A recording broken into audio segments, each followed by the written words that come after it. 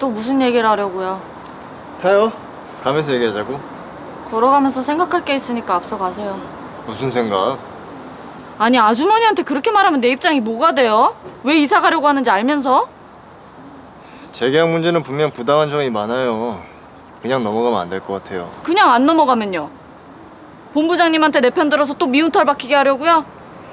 결국은 나 때문에 벌어진 일이니까 내가 정리하는 게 맞아요. 우진 쌤은 아무것도 안 하는 게 날 도와주는 거예요. 아유, 자고 가라니까. 에?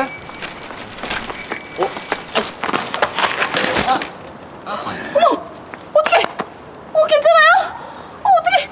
어 팔 다친 거 아니죠? 많이 아파요? 병 주고 약 주나.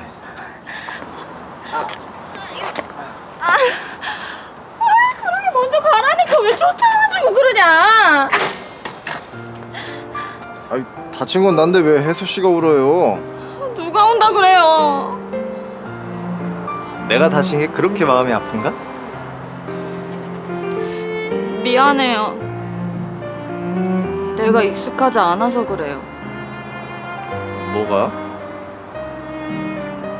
누군가 날 위해 애써준다는 거, 날 도와주려 하는 거. 그래서 화를 내게 되나 봐요. 동정이냐 그래져서. 자격지심이 많구만. 아이, 그래가지고 진짜 사랑이나 할 수 있을려나? 네?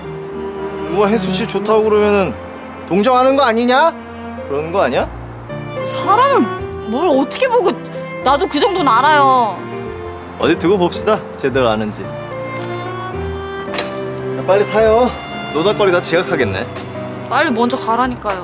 아, 나 진짜 아플라 그래. 빨리 타라니까.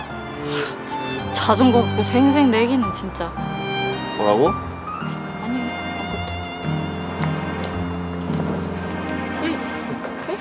꽉 잡아라, 혜수야.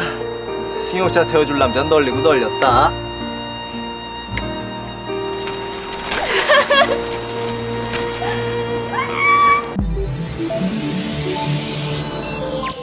KBS